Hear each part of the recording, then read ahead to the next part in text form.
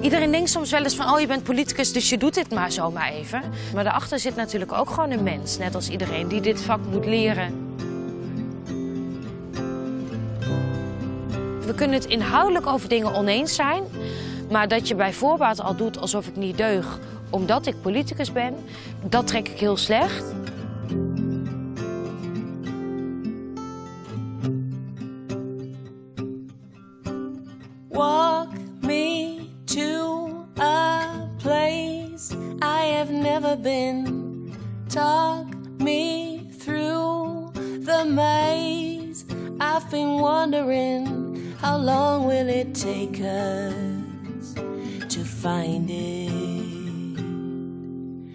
Soms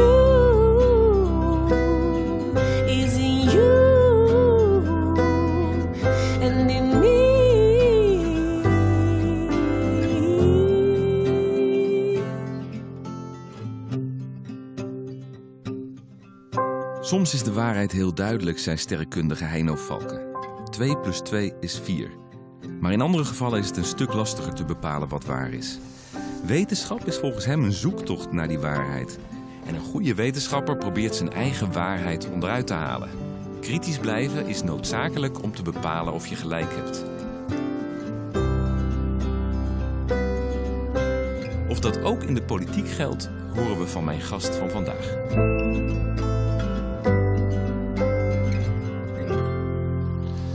Wie een zoektocht doet naar waarheid kan volgens mij niet om de politiek heen. Want het lijkt wel alsof politici tegenwoordig meer geven om beeldvorming en zichtbaarheid dan om inhoud en feiten. En gelukkig doen idealen er ook nog steeds toe. En idealen heeft mijn wandelgast van vandaag zeker. Ze is geboren in Aalten, woont in Nijmegen, is Tweede Kamerlid voor GroenLinks, doet dat nu ongeveer vijf jaar. En is in die tijd twee keer met voorkeurstemmen in de Tweede Kamer gekomen. Dus het is een populair Kamerlid. Ze maakt zich in haar werk vooral sterk voor jongeren en kinderen, voor gehandicaptenzorg, voor jeugdzorg, voor onderwijs. De vraag is, waarom heeft ze daarvoor gekozen? En hoe wapent ze zich tegen het leed dat ze daar aantreft en de misstanden die ze ziet? En hoe lastig is het om als Kamerlid de waarheid te achterhalen en dingen te veranderen? Dat gaan we vandaag allemaal bespreken, want ik ga vandaag op weg naar waarheid met Lisa Westerveld.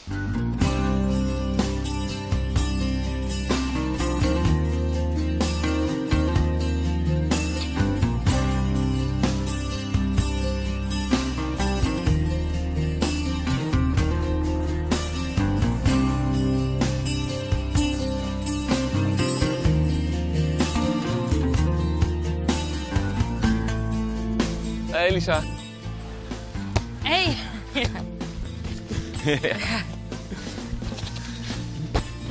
Ga zo even hoog houden. Ja, dit ken je, hè, die bal. Ja, maar hoog houden kan ik dus niet bij deze schoenen. Nou, nee. Nee. Nee, overkop. Hm? Hij is een beetje zacht alleen de bal. Ja. Wil je koppen? Ja, even overkop. Ja. Oh shit.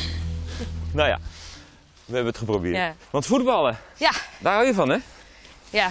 Is dat de manier waarop je je ontspant van dat drukke leven? Voetbal en eh, muziek. Muziek, oh ja, Ja. stevige. Het is hele stevige muziek. Ja. Ja. En, eh, en want, eh, hoe werkt dat dan? Hoe, hoe, hoe gaat dat als je naar die muziek luistert of als je erop danst? Wat doet dat dan? Het geeft denk ik een stukje ontspanning of zo. Dat je even niet met werk bezig bent. Even niet ingewikkelde stukken leest, maar gewoon kijkt naar wat er op het podium gebeurt. Met leuke mensen bent. Iedereen vermaakt zich. Dat vind ik zo fijn daaraan. En Ja. wandelen, doe je dat ook wel eens? Wandelen niet, maar stukjes hardlopen wel. Ja. Nou, we gaan vandaag Yes. wandelen. We kunnen even een Ja. balletje meenemen. Ja. Een beetje overschieten. Het is hier niet zo... eh. Zo die kant op? Ja. Niet zo heel breed, maar... Kan je goed passeren? Nee, ik ben helemaal niet zo heel erg eh technisch Wat, wat doe je dan? Nou, ja, precies. ik ben... eh, nou, ik sta op het middenveld. Dus ik ben... eh,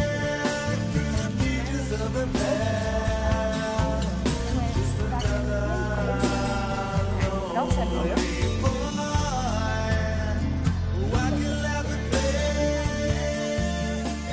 Hey Lisa, jij, jij hebt eh, filosofie gestudeerd. Ja. Is dat iets wat jij altijd al wilde? Waar je als klein meisje al van dacht van... Ja, ik wil, ik wil nadenken, ik wil filosofie studeren. Nee, eigenlijk helemaal niet. Ik ben daar langzamerhand eh achter gekomen. Het was wel zo dat ik als klein meisje altijd heel veel vragen had. Ik ben eh, christelijk gereformeerd eh, opgevoed. En ik weet nog wel dat ik als kind dan ja, wilde weten waarom mag ik niet op zondag voetballen. En ehm, nou, hoezo staat, staat dit in de Bijbel? En ik had ook altijd wel vragen over de positie van, eh, van vrouwen. Want ik ging naar een kerk waar, Als klein meisje al. ja, waar alleen een man eh, dominee mocht worden. En waarin alle diakenen mannen waren. Dat ik eigenlijk gewoon mijn vinger wilde opsteken en wilde zeggen... hé hey, dominee, ik heb een eh, vraag. Ja. En daar was nooit ruimte voor.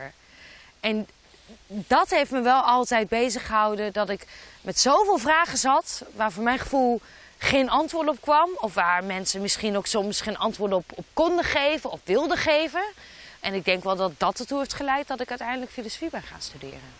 Ik denk dat het mooie van filosofie is dat je dat soms het zoeken naar een antwoord nog belangrijker is dan het antwoord zelf. Filosofie is heel erg een studie waarbij je leert om ingewikkelde vragen van allerlei kanten te bekijken. Waarin je ook leert dat er niet per se één waarheid hoeft te zijn, maar dat het ook uitmaakt vanaf welk perspectief je het bekijkt. Het is een opleiding waarbij je met ontzettend veel denkbeelden, ook uit verschillende tijden, ehm, mee te maken krijgt. Waarin je ja, leert van verschillende filosofen die op een hele andere manier met heel veel verschillende vraagstukken bezig zijn. En het kan al zijn een simpele vraag van als je een appel hebt, is, dit, is, is die appel rood? Of is die niet rood? En hoe weet je nou dat die rood is? Maar het, het, kan ook, het kunnen ook vragen zijn over wat is nou de beste inrichting voor een samenleving? Is dat nou een democratie? Of is het nou veel beter en veel effectiever misschien om gewoon één, de meest wijze persoon aan te Ja. stellen die alles weet en die gewoon in zijn of haar eentje besluit wat er gebeurt? Ja. Het gaat overal over. Ja. En dat is ook het mooie van filosofie. En je zei, je leert dus ook dat er niet één waarheid is. Misschien niet is, maar hoeft te bestaan. Je, je- we kunnen allemaal op een hele andere manier natuurlijk naar de wereld aankijken. Het hangt er ook maar net vanaf in welke cultuur je bent opgegroeid. In welke, nou, wie je ouders zijn. Ehm, wa- wat, je, wat, je, wat je hebt geleerd toen je klein was. In, in, in hoeverre heeft die jeugd, hebben jouw ouders, heeft de omgeving in Aalten eh, de Lisa gemaakt die je nu bent? Ja, voor een heel groot deel. Ehm, want waar ik me nooit zo bewust van was tot een tijdje geleden, is dat mijn ouders bijvoorbeeld heel erg al bezig waren met duurzaamheid. Dat mijn ouders me altijd hebben geleerd om goed afval te scheiden, om uit te kijken met wat je verbruikt. En dat was ook vanuit hun idee, omdat ze zijn opgegroeid met, eh, nou, met, met de Bijbel, met God. Goed rentmeesterschap. Ja, precies. En, dat, mijn moeder doet altijd vrijwilligerswerk. Heeft in de kerk veel gedaan. Werkt nu met eh, mensen met een verstandelijke beperking waar ze schoonmaakt. Eh, heeft altijd voor iedereen klaargestaan. Nou, da- daar heb ik dus onbewust als kind heel erg veel van geleerd. Maar dat is ook iets waar ik eigenlijk pas op latere leeftijd me bewust van werd. Ja. Hoe vinden jouw ouders het eigenlijk dat je in de politiek zit voor zo'n linkse partij? Nou, dat was aan het begin even slikker voor ze. Ehm, maar uiteindelijk heeft mijn vader en mijn moeder hebben ze mij nog heel erg geholpen. En mijn vader bijvoorbeeld door een poster van mij op te hangen op zijn werk met stem op mijn dochter. Ja? Wat ik echt super ontroerend vond. Waarom? Want op zich is dat logisch, toch? Nee, mijn ouders st- stemden altijd ChristenUnie. Was altijd Ja. geen vraag over. Zij stemden altijd op de ChristenUnie en de voorlopers van de ChristenUnie. En ik vond het... eh, nou, het heeft me echt heel veel gedaan dat ze de laatste verkiezingen op mij hebben gestemd. En ook wel nou, dat mijn vader dus een poster van mij op zijn werk had hangen. Mijn ouders die zijn nooit zo van het, van het praten en complimenten hard opgeven. Maar op dit soort momenten merk je dan toch wel gewoon dat het, nou ja, dat het mijn ouders zijn. En dat ze dit soort dingen voor mij doen. En ja, dat is toch... Soms zijn het die gebaren die zoveel meer zeggen dan woorden. En dat vond ik eigenlijk wel heel erg mooi. ja. Als eh, mensen over jou praten, dan hebben ze het heel vaak over jouw normale manier van praten. Doe maar gewoon, hè. Komt dat ook uit jouw jeugd? Komt, dat uit de Achterhoek, uit Aalten? De hele mentaliteit in de Achterhoek is natuurlijk de mentaliteit van aanpak. Gewoon aan de slag gaan. Niet zeuren, maar gewoon doen.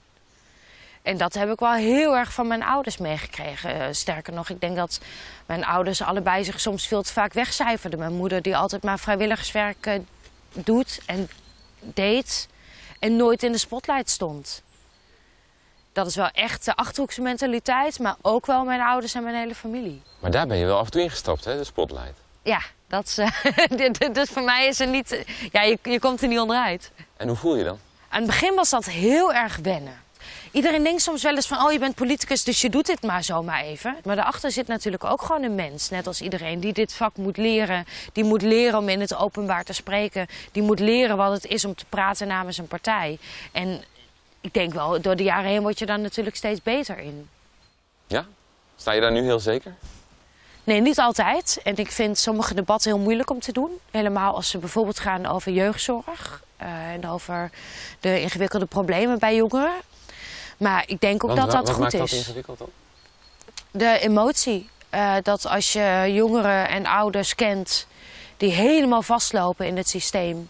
En als je hulpverleners kent en met hen praat die hun werk willen doen, maar die telkens worden tegengehouden door regelgeving die veel te veel in hun hoofd hebben. Ja, dan doet dat wat met mij. En dan vind ik zo'n debat heel moeilijk. En ik denk dat dat maar goed is ook. Want op het moment dat je daar automatisch gaat staan en automatisch een praatje houdt en niet meer hoeft na te denken, dat is het moment dat ik eh, uit de politiek moet gaan. In the land of grey and pink, where only boys got stuff to think. They'll be coming back again, those nasty grumbly grimblies, and they're climbing down your chimney. Yes, they're trying to get in. Come to take your money, isn't it a sin? There's a thing. Wat zijn jouw belangrijkste idealen in de politiek? Nou, een van de redenen dat ik ehm, de politiek in ben gegaan, is dat er zo ontzettend veel mensen zijn die geen stem hebben of die zich niet gehoord voelen. En dan heb ik het vooral over nou, mensen die psychisch kwetsbaar zijn, die mentale problemen hebben, maar ook mensen met een handicap die gewoon echt moeite moeten doen om mee te kunnen doen met deze samenleving.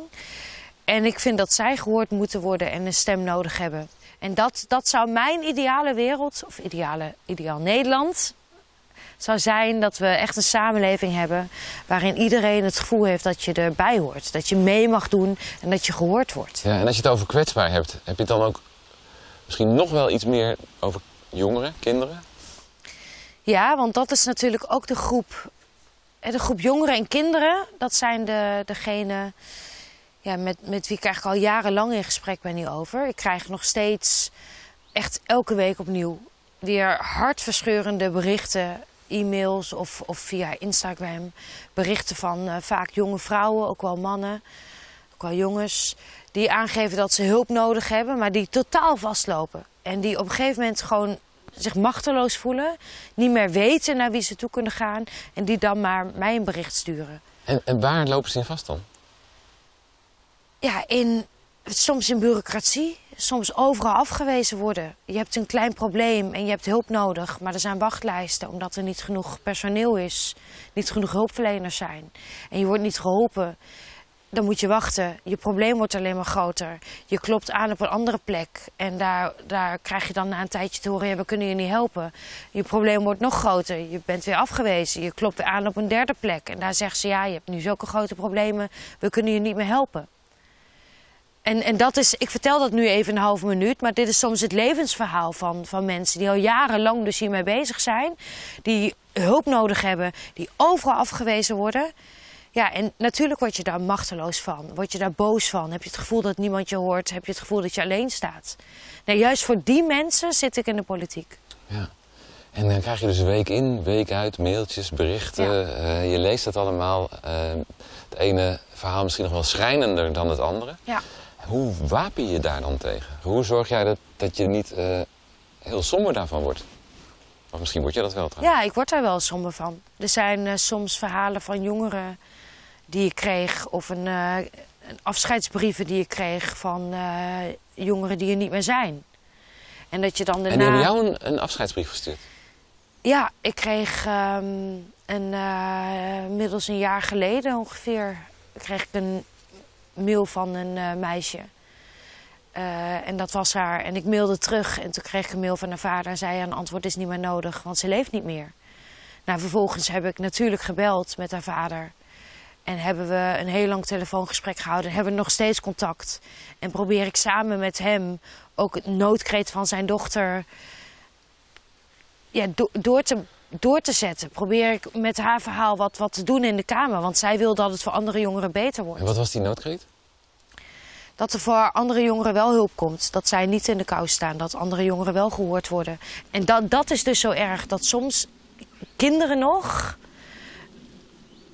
geen vertrouwen meer hebben en denken het is te laat voor mij. En ik probeer natuurlijk ook in gesprekken die ik heb aan te geven, het is niet te laat voor je. Er zijn hele goede hulpverleners, maar op het moment dat die wachtlijsten zo enorm zijn, dat die hulp niet bij hen kan komen, ja, dan, dan kan ik me wel voorstellen dat het voor een aantal van hen te laat voelt en dat, het, ja, dat ze niet meer geholpen kunnen worden. Hoe erg ik dat dan ook vind. En dan weer even terug naar jouw eigen gevoel daarover. Want Ja. je zegt, ja, daar word ik somber van. Hoe, hoe gaat Ja. dat dan bij jou? Hoe werkt dat? Hoe lang blijf je dan Nou, treurig? Nou, ik heb natuurlijk wel eens slapeloze nachten. Als ik dan zo'n mail Letterlijk? krijg. Ja, omdat je denkt, ik moet, je moet helpen. Je wil helpen. Maar ja, ik kan ook niet zomaar allerlei hulpverleners eh, toveren die hen kunnen helpen. Ik, ik ben... De, ja, je, dus je voelt je dan machteloos, omdat je weet... er moet iets gebeuren, anders is deze jongere er misschien niet meer. Over een paar weken of misschien zelfs over een paar dagen. Maar ik voel me soms ook machteloos. Hoe vaak wil je dan wegrennen van, van je vak? Ja, ik wil er dan juist blijven. Ik wil dan juist zorgen dat het verandert. Ik word dan juist zelf ook gewoon boos. En ik denk dat dat misschien ook wel goed is om, om dat ook te voelen. En ik denk heel vaak achteraf, ja, heb ik er wel alles aan gedaan?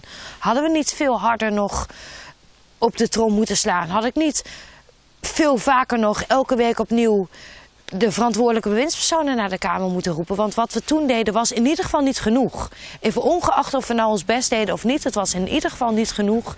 Anders waren die problemen nu niet zo groot geweest.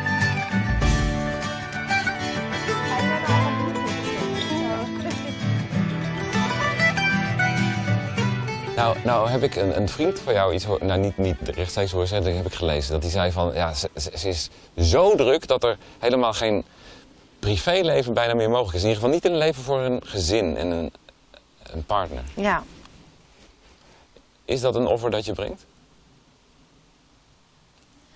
ja partner weet, het is er gewoon niet van gekomen. Of in ieder geval, ik heb natuurlijk wel eens relaties gehad, maar nu niet. Dat is gewoon zo. Dat is ook niet iets waar ik heel erg mee zit.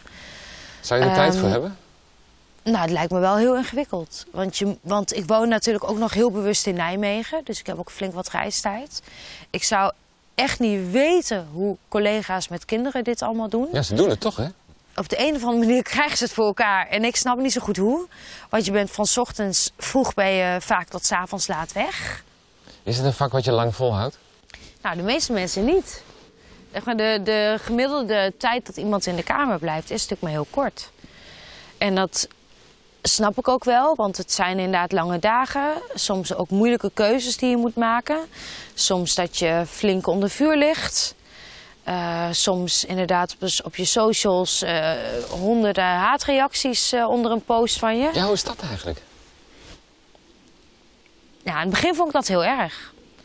Aan het begin vond ik elke reactie die wat zei over. Nou, vooral je integriteit wordt telkens in twijfel getrokken. Dat, dat vind ik nog steeds wel eens net alsof iedereen die in Den Haag zit mij niet deugt. Ja. En ik vind heel vaak, we kunnen het inhoudelijk over dingen oneens zijn. Prima, laten we maar dat inhoudelijk gesprek aangaan. Maar dat je bij voorbaat al doet alsof ik niet deug omdat ik politicus ben, dat trek ik heel slecht. Ehm, maar met al die haatreacties klinkt een beetje gek, maar je raakt er gewoon aan gewend. Je raakt gewoon aan gewend dat iedereen maar telkens je uitscheldt of allerlei dingen van je vindt. Kom, we gaan weer. Ja, Even een beetje ontspannen.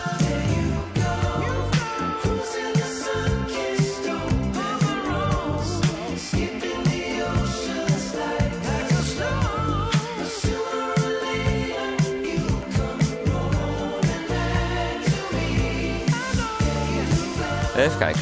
Op mijn Lisa Westerveld pagina. Ik kan het bij het verkeerde eind hebben en jij kunt gelijk hebben. En met moeite kunnen we dichter bij de waarheid komen. het zou best wel eens een citaat van mijn favoriete filosoof kunnen zijn. En dat is? Popper. Het is Karl Popper. Ja, Ja, nee, dat wist ik natuurlijk, hè. Filosoof, Britse Oostenrijks. ja. nee, ja, omdat ik- het heel erg aansluit bij zijn, bij zijn filosofie. Ja. Want hoe dan? Nou, omdat Popper heel erg schrijft naar de, over de zoektocht naar de waarheid. En hoe we die kunnen bereiken. En heel erg bezig is met. Nou, eigenlijk zit heel erg in zijn, in zijn filosofie. Zit heel erg hoe we nou ook onszelf kunnen, kunnen verbeteren. Hoe we kunnen leren van, van fouten die we hebben gemaakt. Ja. En hoe we op die manier dus inderdaad dichter bij de waarheid eh, kunnen komen. Dus vandaar dat ik dacht, ik ken dit citaat niet per se, maar het zou heel goed eens van- van hem kunnen zijn. En ben jij daar goed in om dat toe te geven, dat je het bij het verkeerde eind kan hebben? Nou, ik hoop het. Je, je wordt gewoon beter als je zelf ziet welke fouten je hebt gemaakt. Als je goed luistert naar anderen. Als je open staat voor andere argumenten. Maar dus even- ik probeer dat wel. Maar kan je het ook? Doe je, want dat ja, weet dat is moeilijk om over jezelf te zeggen. Ik denk dat ik het kan, ja. Omdat ik er heel bewust van ben. Dat ik echt niet de waarheid in pacht heb. Dat ik het echt niet altijd bij het rechte eind heb. En omdat ik... Ik denk omdat ik daar gewoon heel bewust van ben. En, en probeer ik ook heel open te staan en te luisteren naar andere argumenten. En dat heb ik natuurlijk ook bij mijn opleiding geleerd. Maar hoe doe je dat in de Kamer dan? Want dan heb je ook een Ja. partijbelang. Ja. En dat moet je ook verdedigen. Dus je moet daar ook wel een beetje stevig blijven staan. Hè? En niet zomaar omwaaien als iemand eh, een, een ander argument gebruikt. Ja, is zo. Maar je kunt natuurlijk een Kamerdebat ingaan. Terwijl je van tevoren al weet, nou wij gaan voor of tegen dit voorstel stemmen. Of je gaat een Kamerdebat in en je denkt, ik heb hier bedenkingen bij, ik heb hier vragen over. En afhankelijk van de antwoorden besluiten wij hoe we gaan stemmen. En, En doen jullie dat zo? Ja, dat tweede is eigenlijk altijd mijn insteek bij Kamerdebatten. Dat we natuurlijk van tevoren al best wel een idee hebben of een voorstel goed is of niet. Of dat we ergens voor of tegen moeten stemmen. Maar ik laat dat altijd afhangen van het debat zelf. En dat gebeurt wel eens dat je dan denkt, oh, oh ja, zo kun je het ook bekijken. Ja, daar zijn natuurlijk debatten ook voor bedoeld. Maar dat gebeurt ook. Ja, Dat je dan toch van mening verandert. ja. Het idee is, ook bij mij, eh, dat in de Kamer toch ook heel veel gaat om be- beeldvorming hè, en om eh, eh, zichtbaarheid. Ja, Dat je inderdaad de bladen haalt of de kranten Ja. of de televisieprogramma's. ja. Ehm, in hoeverre wordt de politiek daardoor bepaald? En, en hoe, hoe, hoeveel doet de waarheid er nog toe? In alle eerlijkheid, eh, politiek wordt voor een heel groot deel daar- daardoor bepaald. Omdat het ehm, uitmaakt eh, wat je zegt, maar ook omdat natuurlijk aandacht voor je voorstellen zorgt er ook voor dat er misschien wat meer druk komt te staan op het kabinet om het toch uit te voeren. En ik vind dat een worsteling. Namelijk ga ik voor de, zonder de stukken te lezen, voor de gemakkelijke quotejes in een debat. En haal ik heel veel uit naar de minister. En eh, krijg, ik, krijg ik heel Twitter zover dat ze het over me hebben. En, eh, en heb ik een leuke kop in de krant. Of ga ik de dag van tevoren stukken lezen, goed uitzoeken hoe het zit, mensen nabellen, brieven lezen over dit onderwerp, om er, nou, om echt een goed standpunt, een genuanceerd standpunt ehm, te krijgen en, en straks ook goede besluiten maken over die wet. Ik, ik schets het nu wat zwart-wit. Ja. Maar soms sta je wel. Je, je merkt best wel vaak in, in debatten, helemaal als er weinig tijd is, dat ook wel te veel collega's, vind ik, voor de makkelijke weg kiezen. Ook omdat er soms geen tijd is om alle stukken te lezen. Maar het wordt ook veel te veel beloond om maar ophef te veroorzaken in plaats van echt diep op die inhoud in te gaan. En ja, goed te zoeken naar wat je nu echt vindt en, en, en wat er klopt. En soms het genu genuanceerde standpunt uit te dragen. Kijk bijvoorbeeld het debat over jeugdzorg. Je wordt heel populair als je maar roept dat het schandalig is, dat geen enkel kind uit huis geplaatst mag worden. En dat, eh, en dat de overheid eh, kinderrovers zijn. Hè, kun je hartstikke groot mee worden. En tegelijkertijd, we weten ook dat het anders zit. Als je echt met kinderen gaat praten die bijvoorbeeld vroeger mishandeld zijn en die met alle goede redenen uit huis zijn geplaatst. Als je echt met jeugdhulpmedewerkers gaat praten, die echt soms zien dat kinderen in risicovolle situaties opgroeien.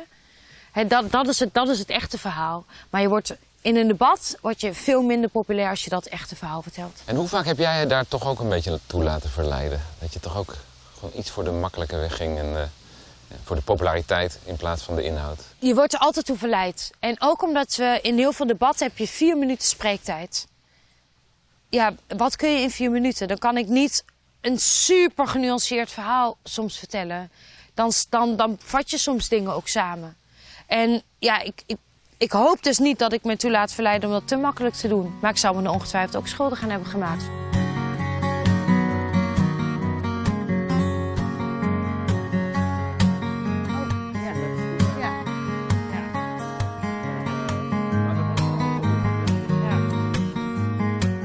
Eindigt altijd met een citaat van mijn gast. Dus ik, eh, ik ga. Als, je- zou jij het boek even verder vasthouden? Ja, Dit is jouw pagina. Als het daar Ja. niet past, dan mag het ook daar.